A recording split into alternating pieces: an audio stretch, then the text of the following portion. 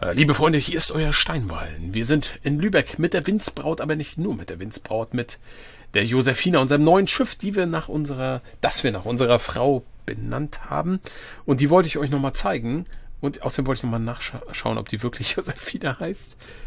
Und hier ist sie, die Dame, und sie heißt, oh Gott, sie heißt Josefa, verdammt.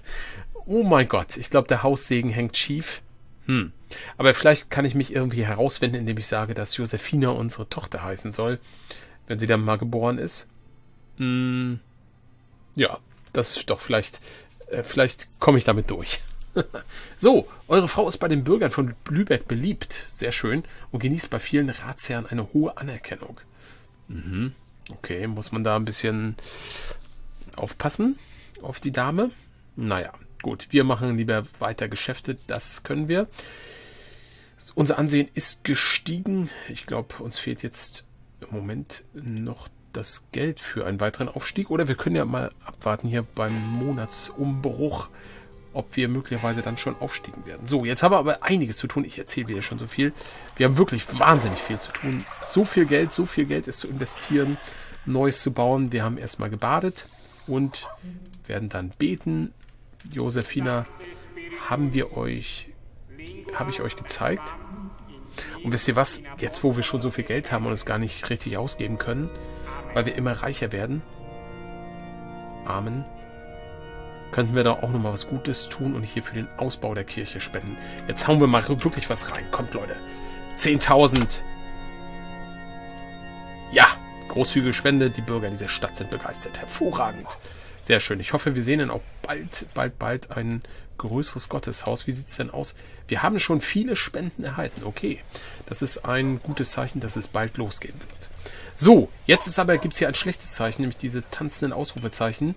Denn, ja, wie ich das schon befürchtet hatte, wir haben kein Eisenerz mehr. Aber hier kommen ja schon, ne, stolzes Kremers, doch bringt auch Eisenerz mit, sehr gut. Wir selbst haben auch Eisenerz an Bord. Insofern sollte diese kleine Krise jetzt schon wieder überwunden sein. Wir bringen jetzt mal das Bier in den Kontor, Eisenerz und Wein auch wieder zurück. Sehr schön. Gut. Sieht gar nicht so schlecht aus. Fälle sind nicht mehr da. Das ist sozusagen noch der Nordpol. Warte mal. Bringt ihr zufällig ein bisschen Fälle, aber die Holzwurm, ja, das kommt deshalb, weil die Holzwurm ja einmal überfallen wurde. Und deswegen könnte es ein bisschen knapp sein. Gut, Eisenerz ist wieder da. Die arbeiten wieder sehr brav. Wir gucken noch mal kurz, ist hier alles in Ordnung? Bettler 92. Die Stadt wächst und gedeiht. Und 489. 79, 76. Ja. Ich denke, das ist okay. Machen wir eigentlich inzwischen Gewinn mit diesen Sachen? 840, 600, 800. Oh ja, wir sind im Gewinnbereich. Sehr gut. Also ich denke mal, wir brauchen jetzt erstmal noch nicht ausbauen. Machen wir vielleicht beim nächsten Mal. So, jetzt kommt der wichtige nächste Punkt, nämlich die Schiffsroute. Dazu müssen wir erstmal unseren Kapitän, den wir an Bord haben, ähm, Adam, Kapitän Adam, rüber zur Josefina bringen. Okay, dann braucht die Josefina auch Matrosen. Das wollen wir jetzt gleich klären. Acht Leute braucht sie. So. Und dann soll sie auf neuen Kurs gehen. Und da habe ich natürlich wie immer schon was vorbereitet, weil das doch immer eine ziemlich knifflige Sache ist. Lübeck-Edinburgh ist die Route, die ich vorbereitet habe. So, ihr seht es. Ähm, wir wollen von Lübeck aus Oslo, Bergen, Edinburgh, Scarborough und Riepen anlaufen. Also ja, diese Tour hier, diese besprochene Nord-Nord-Tour. Oslo, Bergen, Edinburgh, Scarborough, Riepen und dann zurück nach Lübeck. Ähm, was habe ich da jetzt gemacht? Jetzt läuft das schon so ein bisschen so ab, wie wir es bei den anderen Routen auch im Nachhinein immer weiter hinzugefügt haben. Wir werden in Lübeck schon mal einige Verbrauchsgüter hier laden. Das ist alles noch recht bescheiden, ähm, aber es wird mit der Zeit immer mehr werden weil ja Lübeck immer ein immer größerer Zentralpunkt werden wird, wo immer mehr Waren auflaufen werden. So fangen wir an und dann habe ich ja in jedem Ort einfach geguckt, was kann man kaufen, was kann man verkaufen, habe im Prinzip alles, was wir mitgenommen haben, was wir unterwegs kaufen, dann auch wieder auf Verkaufen ähm, äh, eingestellt und hoffe einfach, dass wir gute Geschäfte machen und am Ende soll, wenn möglich, noch Tu Tücher, also Tuche übrig bleiben und wieder nach Lübeck kommen. Das ist so ein bisschen das Ziel. Also ich glaube in Edinburgh, ihr seht es, wir schauen mal hier rein, sehen wir einmal, mh, hm, sehen wir hier Tuch, ja, die habe ich ganz oben gemacht, kaufe von der Stadt. Also da kriegen wir was her und in Scarborough glaube ich auch, genau. Ähm, und in Riepen, da verkaufen wir noch Tuch, aber ich glaube, ich hoffe trotzdem, dass in Lübeck noch was ankommt. So, insofern können wir die Route scharf schalten und dann sollte es dann auch hoffentlich losgehen. Und hoffentlich klappt das dann auch so und die Geschäfte laufen weiter gut. So, jetzt haben wir, jetzt würde ich sagen, wir, wir bauen gleich das nächste Schiff. Geben wir in Auftrag. Bloß nicht keine Zeit verlieren. Und wir sehen aber, oh verdammt, wir haben ein Problem mit Pech. 30 fast Pech brauchen wir. Lübeck hat kein Pech. Ich glaube, wartet mal, wo wird Pech? Hier nicht. Hier nicht.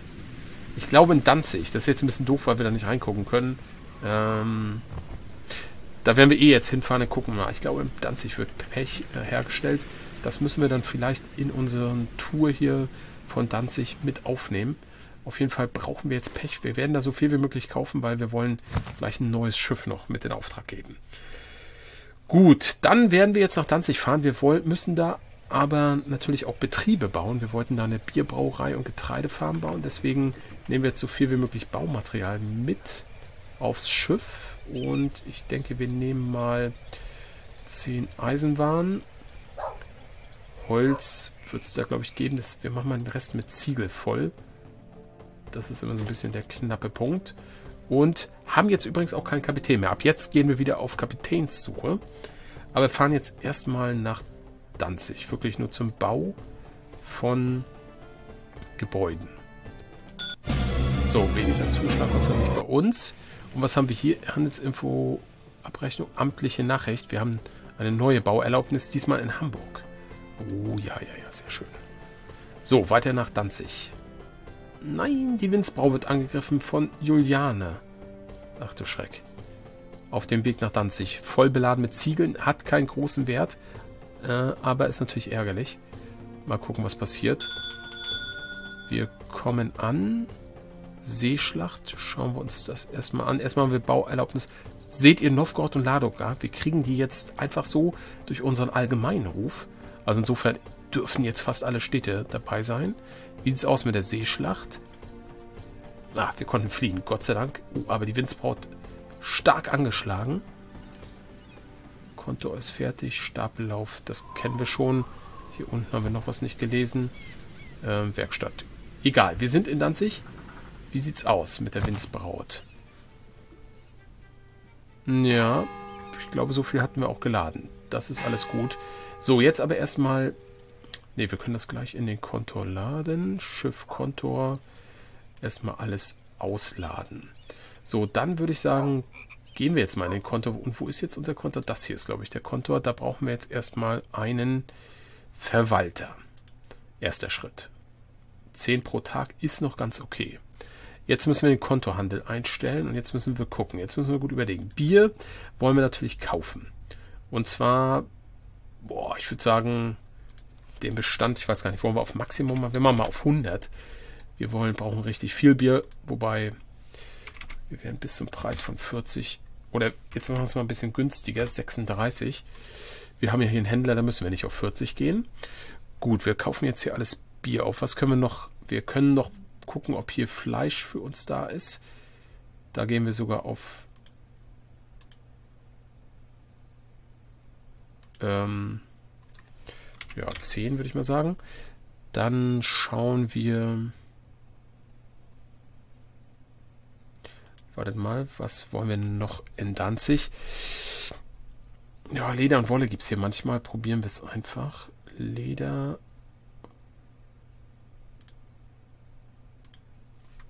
Ja, bis 20 Wolle. Ja, gut, das ist ein bisschen utopisch. Machen wir 10, das wird mir sonst zu viel, aber so viel kriegen wir da eh nicht. Und ich glaube, hier brauchen wir auch wenn hier Wolle da ist, dann nehmen wir sie auch für 900. Das ist in Ordnung. So, gut, das sind die Einkäufe. Jetzt werden wir gleich schon mal die Verkäufe definieren. Und zwar denke ich, werden wir hier auf jeden Fall Eisenwaren verkaufen. Und zwar bis 450 runter. Wir werden, wenn wir haben, Fälle verkaufen. Das mache ich jetzt nämlich schon alles prophylaktisch. Ähm, wenn wir mal irgendwann das alles am Laufen haben, dann brauche ich das hier nicht mal einstellen. Wir werden Honig verkaufen, 140, Keramik werden wir verkaufen. Wir werden, ach so, Pech wollten wir ankaufen, das ist wichtig. Das ist wichtig, Pech. Da werden wir bis 30 Pech immer einkaufen. Oder vielleicht sogar 40. Und zwar zu einem Preis von bis 60, denke ich. Gut. Salz war ja hier, glaube ich, nicht. Im Gegenteil, wir brauchen hier Salz. Das müssen wir noch mal sehen. Und Tuch werden wir dann verkaufen an die Stadt Tran, falls er hier ist, auch. 140 und Wein, falls wir da haben, auch. Okay, damit ist der Kontohandel eigentlich eingestellt. Jetzt wollen wir bauen. Bauen, bauen, bauen. Bierbrauerei war angesagt. Mal gucken, was uns das kostet. Brauhaus. So, 8200 ist doch okay. Ziegel 40, 26 müssen wir noch kaufen. Scheint irgendwie zu funktionieren. Wir brauen. Und als nächstes möchte ich noch eine, ein Getreidehof. Das geht auch noch gerade so. Warenkosten sind recht hoch. Aber ich will jetzt nicht wieder zurückfahren. Deswegen bauen wir den jetzt mal auf die Seite hier. Bloß nicht neben unseren Konkurrenten. Okay, damit haben wir jetzt die beiden Bauten abgeschlossen. Jetzt müssen wir aber noch, jetzt müssen wir dran denken. Jetzt müssen wir die Route der Holzwurm verändern. Wo ist sie? Das ist Stolz des Kremers. Die fährt ja an Danzig vorbei. Hier. Hier haben wir die Holzwurm, die jetzt unterwegs ist nach Riga gerade. Das ist auch alles gut. Hier müssen wir nämlich bei Danzig jetzt rein. Und müssen jetzt ihm sagen, er soll nicht kaufen, sondern Transfer von Kontor. Ah, ja, ja, jetzt wird es ein bisschen knifflig. Transfer ins Konto, aber nicht Max, sondern da nehmen wir jetzt immer 10 erstmal. Wir wollen ja nicht alles da abladen. Fälle auch ins Konto. 10. Fleisch vom Konto rein. Honig ins Konto. Das ins, äh, ich mache das erstmal so alles. Leder Nee. Von Konto, genau. Ein bisschen kompliziert, aber wichtig. So, Salz bitte ins Konto rein. Das müssen wir dann noch beim Kontohändler übrigens einstellen, falls hier wirklich mal Salz ankommt. Tuch auch ins Konto. Ach nee, Salz soll, glaube ich, hier oder wollen wir hier Salz Maximum machen? Ja, er hat ja, glaube ich, keine andere Fleischroute an. Dann können wir hier Maximum machen. Gut, Tuch bitte dann allerdings nur 10. Und Wolle so. So müsste das richtig sein. Ich hoffe, wir haben das jetzt in Ordnung. Äh, anständig gemacht.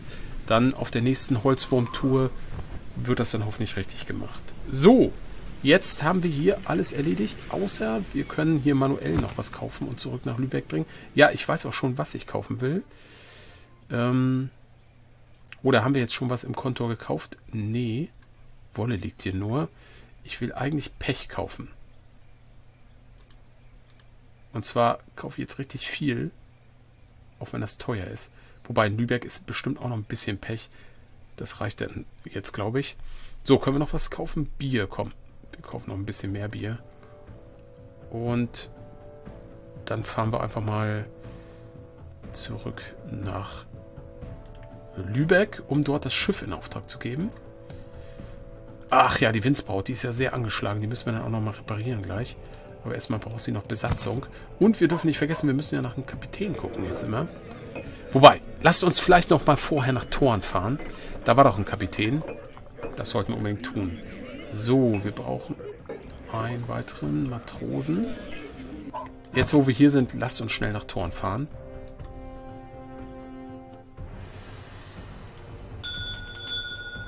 So, wir haben das nächste Richtfest. Was ist denn jetzt gebaut worden? In Aalborg ist die Viehzucht fertig. Uh, das bedeutet auch wieder einige Veränderungen. Da müssen wir nämlich jetzt mit dem Kontohandel ein bisschen was gucken. Ähm, Fleisch und überhaupt die Route auch wieder. So, die Windsbraut ist da. Wer fährt da gerade rein? Ach so, okay. Jetzt wollte ich gucken, ist hier der Kapitän noch? Ja, tatsächlich, er hat auf uns gewartet. Ist ja perfekt. Wunderbar, damit haben wir den nächsten, Horatio Hakonson 333. Der wird eingestellt. Seht ihr, die ganzen Probleme mit den Kapitänen ist jetzt alles Geschichte. Ganz easy peasy läuft das jetzt. So, Bier, mh, hm, Pech ist hier auch nicht so gut. Alles andere wird unser Schiff machen, was da kommt. Deswegen fahren wir jetzt aber die Windsbraut zurück nach Lübeck, denn wir wollen das nächste Schiff für diesen Kapitän hier, den wir gerade angeheuert haben, in Auftrag geben. So, 26. September haben wir. Jetzt geht's los. Hm, Schiff. Bauauftrag. Genau. Also, Kreier. Jetzt geht's. Jetzt halten sich die Kosten auch in Grenzen. Tuch müssen wir ein bisschen dazu kaufen. 22.000 wird in Auftrag gegeben. So, die Zeiten, weiß ich nicht. Das letzte Mal ging das ja nochmal deutlich schneller. Auf jeden Fall haben wir das jetzt auch. Und wir bringen jetzt Schiffkonto erstmal noch ein bisschen Bier wieder nach Lübeck und brauchen jetzt nicht mehr die Nordtour zu fahren. Das macht ja jetzt unsere, unsere Route da. Unsere neue Josefina. Da will ich überhaupt mal gucken, wie sieht es denn aus bei der Josefina? Was hat die... Oh, die hat viele Eisenbahnen unterwegs noch gekauft. Das müssen wir vielleicht noch ein bisschen fein justieren. Honig ist sie auch noch überhaupt nicht losgeworden. Den Wein auch noch nicht. Leder, also sie konnte nicht viel verkaufen, muss ich mal sagen. Na, mal gucken. Vielleicht in Edinburgh, Scarborough, vielleicht ist da noch bessere Geschäftszimmer. Riepen kommt ja auch noch. Halten wir mal ein bisschen im Blick. Das ist jetzt die erste Tour. Da gibt es immer noch Feintuning dann hinterher zu leisten. Okay, Leute, wir fahren jetzt mit der Windsbraut wieder die Köln-Route. Nehmen was jetzt an Bord? Halt, nein, stopp. Wir wollen ja noch mal bauen wieder. Und wir müssen reparieren. Wir wollen bauen noch mal in Aalborg Fleisch. Das heißt, wir müssen statt ne, Schiffkontor, wir müssen Ziegel wieder mitnehmen. Wir müssen Eisenwaren mitnehmen. Und Holz nehmen wir ein bisschen mit. Und dann hilft es nicht. Wir können erstmal noch keine Geschäfte machen. Wir müssen erstmal in Aalborg nach dem Rechten gucken. Okay.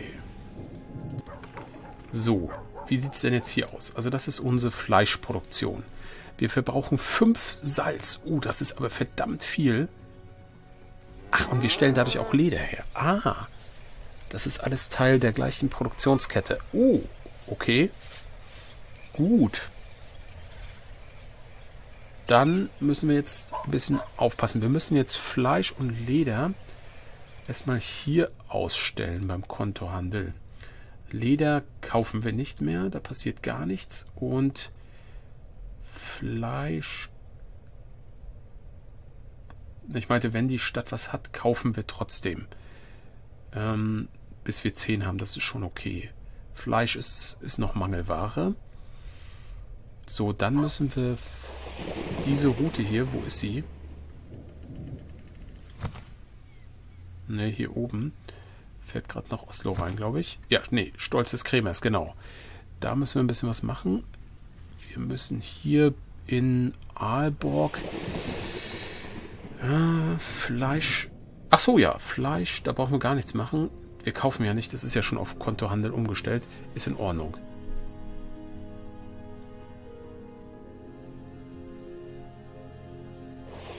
Wieso holen wir uns aus Aalborg Honig? Da ist was falsch eingestellt. Hier, da gibt es ja gar keinen Honig in Aalborg. Das ist Schwachsinn. Transfer von Kontor, das heißt eigentlich Transfer in Kontor 10. So muss es sein. Offenbar der Rest ist vernünftig.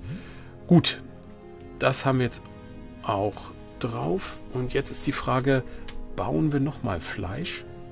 Kriegen wir die Salzversorgung hin? Das ist die große Frage.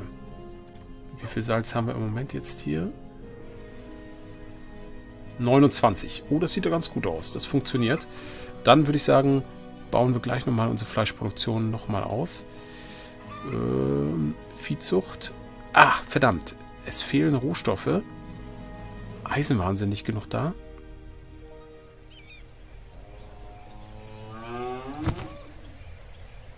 Hm.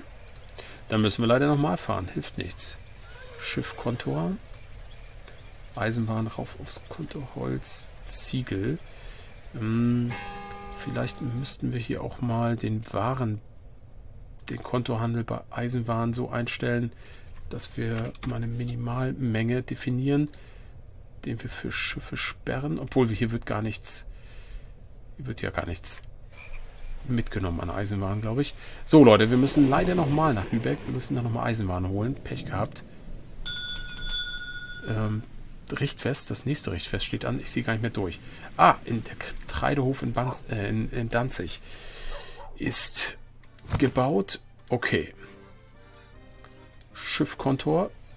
Da nehmen wir noch mehr Ziegel mit. Und der Rest ist Eisenwaren. Beziehungsweise Holz. Oder nee, Ziegel sind wertvoller. Den Rest nehmen wir so. Gut. Nochmal zurückfahren. Oh, Leute. Verwalter, Kindersegen, Bauerlaubnis. Was ist hier alles los? Also, wir sind jetzt auch in Bergen anerkannt. Dann meldet sich der Verwalter aus Lübeck und möchte jetzt 74 pro Tag haben. Wahnsinn. Und, ha, Entzücken und Stolz erfüllte unser Herzen, als uns heuer ein Knabe geboren ward. In Gedenken an unsere stolze Familie trägt er fortan den ehrenhaften Namen Josef. Okay, ja, das ist doch der. Ja, schaut euch das an. Josefina, Josefa, Josef, das ist doch genau der gleiche Gedanke.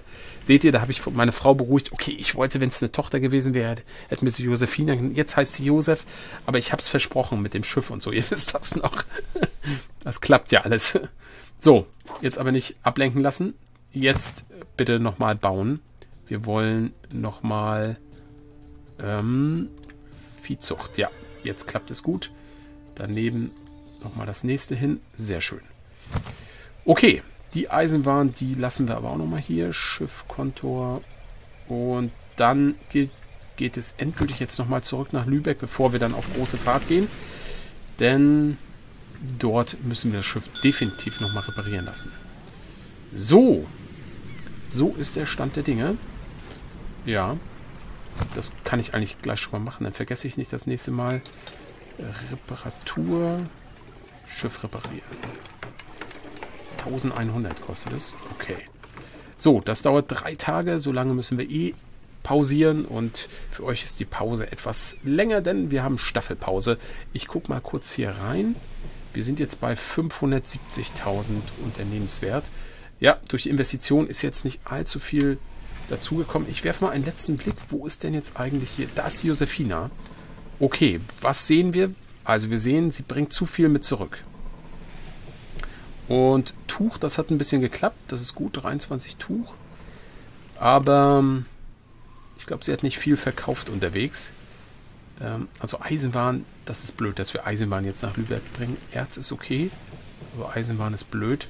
Da müssen wir dann noch was, da müssen wir noch ein bisschen noch was einstellen. Da, wahrscheinlich habe ich zu viel gekauft. Ist aber nicht so schlimm. Die Sachen gehen ja Gott sei Dank nicht verloren oder vergammeln.